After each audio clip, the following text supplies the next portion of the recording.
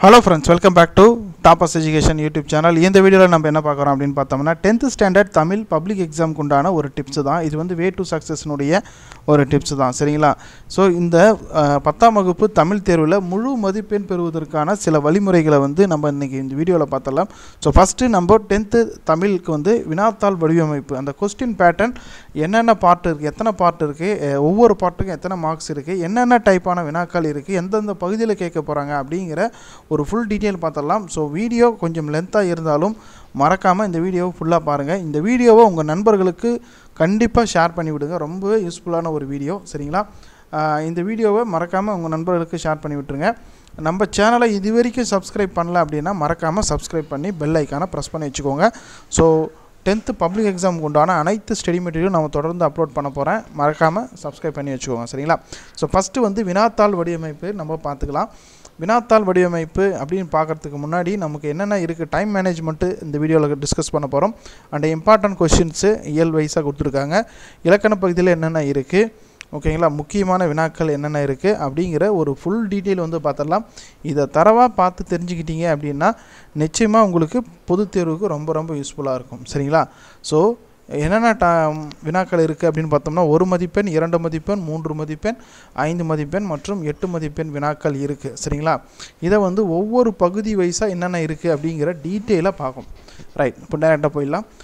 So first வந்து பகுதி ஒன்று எடுத்துக்கிட்டோம் அப்படின்னாக்க ஒரு மதிப்பெண் வினாக்கள். மொத்தம் வந்து பதினஞ்சு கொஷின் இருக்கும். பதினைந்து மதிப்பெண்கள். சரிங்களா? ஃபிஃப்டீன் மார்க்ஸு இதில் ஃபிஃப்டீன் அவுட் ஆஃப் ஃபிஃப்டீன் நீங்கள் எடுக்கணும் அப்படின்னாக்க இது வந்து ரெண்டு பார்ட்டாக பிரிக்கிறாங்க. சரிங்களா?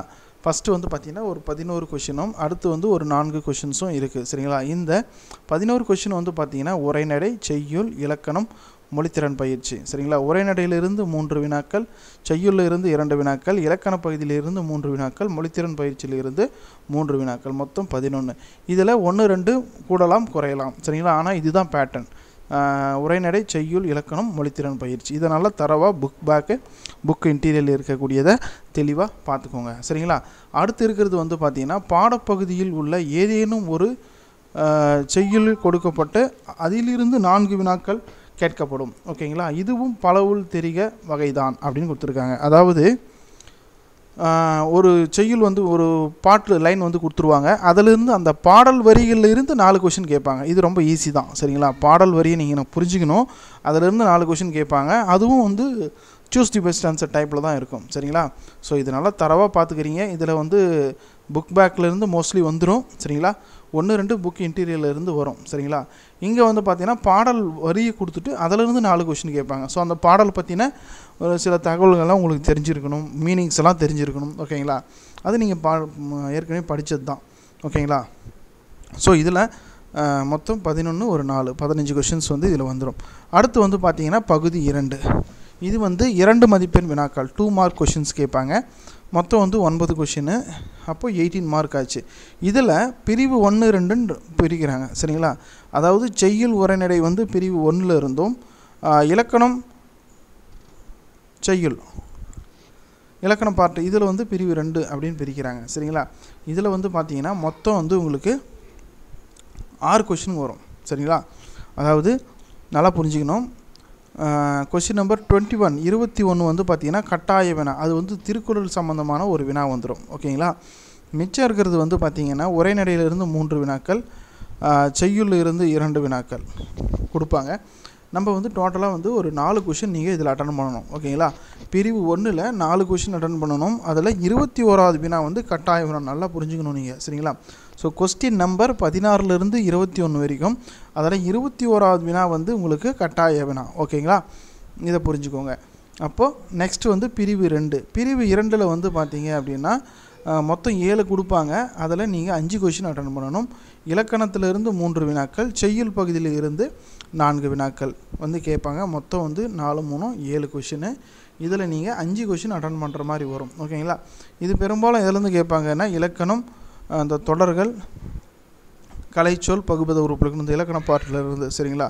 இதுக்கு மட்டும் பத்து மதிப்பெண்கள். டோட்டலாக பதினெட்டு மதிப்பெண்கள் பகுதி ரெண்டை பொறுத்த வரைக்கும்.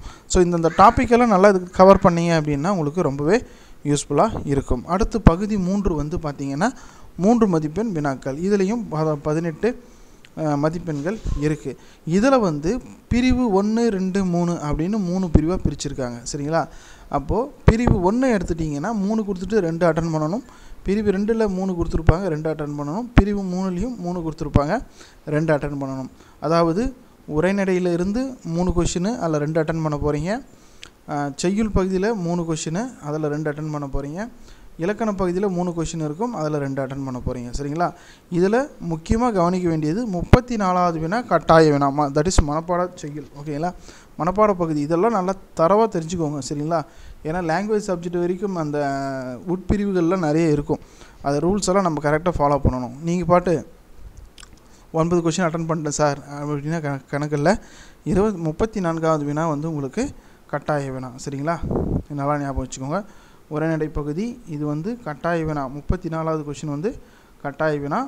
நல்லா புரிஞ்சுக்கோங்க. இதில் மூணு கொடுத்து ரெண்டு அட்டன் பண்ணணும். இதுலேயும் மூணு கொடுத்துருப்பாங்க ரெண்டு அட்டன் பண்ணணும். அதில் ஒன்று கட்டாய வினா. இதுலேயும் மூணு கொடுத்துருப்பாங்க ரெண்டு அட்டன் பண்ணணும். இது வந்து ரொம்ப ரொம்ப முக்கியமானது.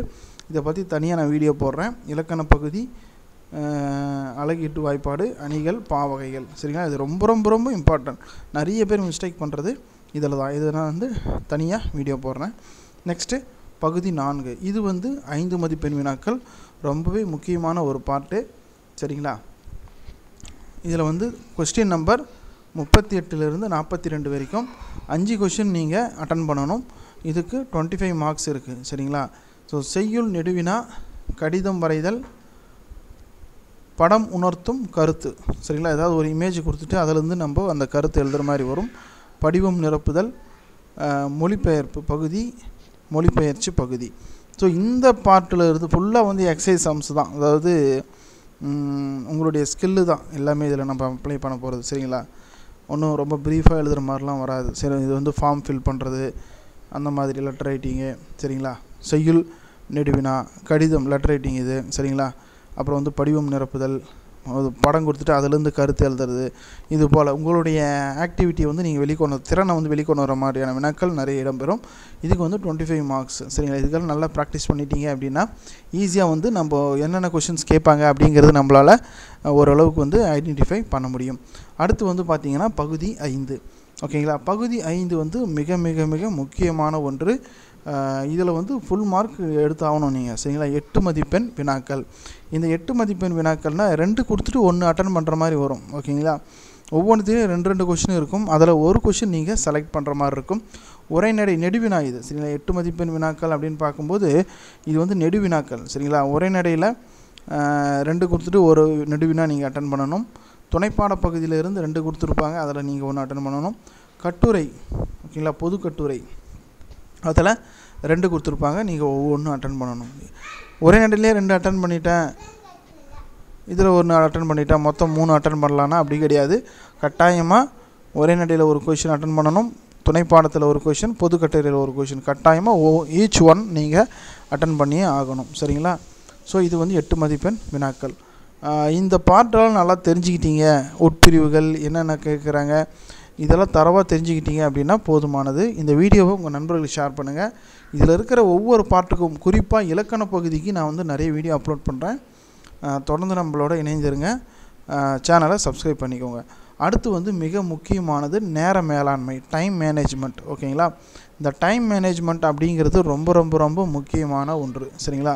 நிறைய பேர் மிஸ்டேக் பண்ண பண்ணுறதே வந்து பார்த்திங்கன்னா இந்த சரியான ஒரு பிளான் இல்லாமல் போகிறது தான் நிறைய பேர் வந்து மிஸ்டேக் பண்ணுறாங்க ஃபஸ்ட்டு வந்து நமக்கு மூணு மணி நேரம் வந்து exam time during the exam hour அதுக்கு முன்னாடி பதினஞ்சு நிமிஷம் கொடுக்குறாங்க.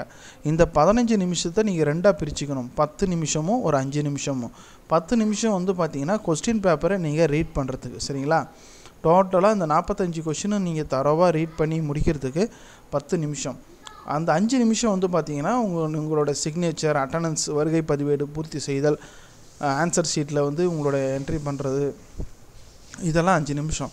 ஸோ அந்த பதினஞ்சு நிமிஷத்தில் கொஸ்டின் பேப்பர் அண்ட் ஆன்சர் ஷீட்டில் உங்களோட ஒர்க்கு ஃபுல்லாக முடிச்சுட்டு during the examination three hours இருக்குது இந்த மூன்று மணி நேரத்தை எப்படி நம்ம யூட்டிலைஸ் பண்ணலாம் அப்படின்னு பார்த்தோம்னா இதை ஃபாலோ பண்ணிக்கோங்க. ஒரு மதிப்பெண் வினாக்கள் பதினஞ்சு கொஷின் இருக்குது அதுக்கு டுவெண்ட்டி மினிட்ஸில் நீங்கள் கம்ப்ளீட் பண்ணி இருக்கணும். ஓகேங்களா?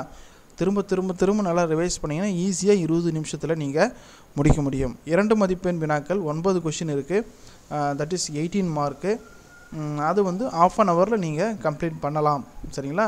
ஹேண்ட் ரைட்டிங் அழகாக தெளிவாக புரிகிற மாதிரி அடித்தல் திருத்தல் இல்லாமல் எழுதுங்க. அடுத்து மதிப்பெண் மூன்று மதிப்பெண் வினாக்கள் வந்து நாலு அட்டன் பண்ணணும். அது வந்து இருபத்தைந்து நிமிடத்தில் நீங்கள் கம்ப்ளீட் பண்ணணும். ஐந்து மதிப்பெண் வினாக்கள் அஞ்சு கொஷின் அட்டன் பண்ணணும். இதுக்கு ஃபார்ட்டி ஃபைவ் மினிட்ஸ் முக்கால் மணி நேரம். ஓகேங்களா? ஃபார்ட்டி ஃபைவ் மினிட்ஸில் நீங்கள் கம்ப்ளீட் பண்ணணும். அடுத்து நெடுவினா எட்டு மதிப்பெண் வினாக்கள் மூணு அட்டன் பண்ணணும். இதுக்கும் ஒரு ஃபார்ட்டி ஃபைவ் மினிட்ஸ் கொடுத்துருக்காங்க ஓகேங்களா ஸோ டோட்டலாக வந்து நமக்கு நூற்றி எண்பது நிமிஷம் இருக்குது மூணு மணி நேரம் அப்படின்னு பார்த்தோம்னா. அதில் லாஸ்ட்டாக இருக்கக்கூடிய ஃபிஃப்டீன் மினிட்ஸ் ரொம்ப ரொம்ப முக்கியமானது. நீங்கள் திருப்புதல் ரிவைஸ் பண்ணி பார்க்கணும். எல்லாத்துக்கும் கொஸ்டின் நம்பர் போட்டிருக்கிறோமா? அண்டர்லைன் பண்ணியிருக்கிறோமா? முக்கியமான கீவேர்ட்ஸ் எழுதியிருக்கிறோமா? ரோம் லெட்டர் நம்பர் ஆப்ஷன் எல்லாம் போட்டிருக்கிறோமா? அப்படிங்கிறத டோட்டலாக செக் பண்ணுறதுக்கு அந்த பதினஞ்சு நிமிஷம் ஓகேங்களா? ஸோ இதை ஃபாலோ பண்ணீங்க அப்படின்னா நிச்சயமாக உங்களால் பத்தாம் வகுப்பு தமிழ் பாடப்பகுதியில் நல்ல மதிப்பெண் ஸ்கோர் பண்ண முடியும்.